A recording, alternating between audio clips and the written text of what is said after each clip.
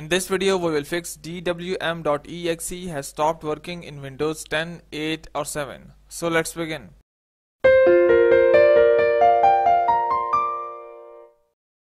So to fix the error what we have to do is just go to your start and type in here for task manager and here we have task manager as desktop app just go and open that once task manager is open just go and click on the services tab. Here we have services tab. Just go and click on that.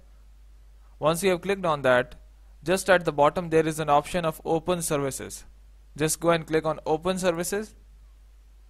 Once services are open just scroll down below and search for desktop window manager. Uh, just scroll down below. Desktop window manager session. Just scroll down below. Once you have found that just go and right click on it. Just scroll down below and here we have just go and right click it. Click on properties. And here just go and uh, select that startup type as disabled. Click apply. Click OK. Once you have done so close the services tab. Close it. Just go and restart your computer. Once the computer is restarted hope the problem will be solved if you still have an issue, you can comment below. I will try to answer that. But before you go, please subscribe, like and share. Thank you.